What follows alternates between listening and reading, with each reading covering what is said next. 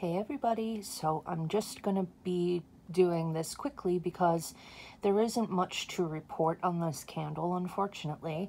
Uh, this is my second time burning this candle in my small area uh, with a closed door, and I am not getting any scent throw at all.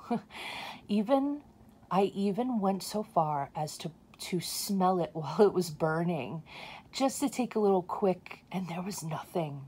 It was smelled like wax. So the snuggle is real on cold.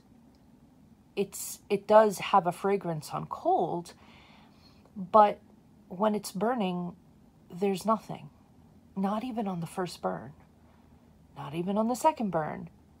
Um the the scent that it is comparable to on cold is um, if you've ever smelled the body products from Bath and Body Works in the scent Pink Velvet Cupcake.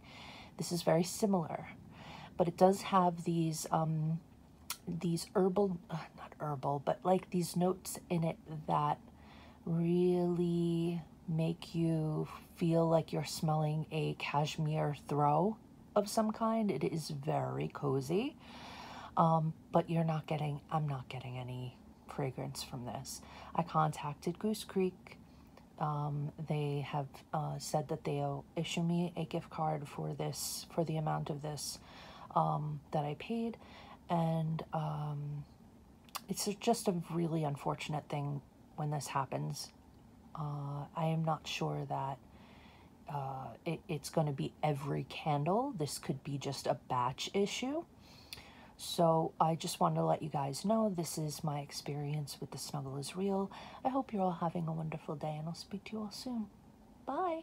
Thanks for watching.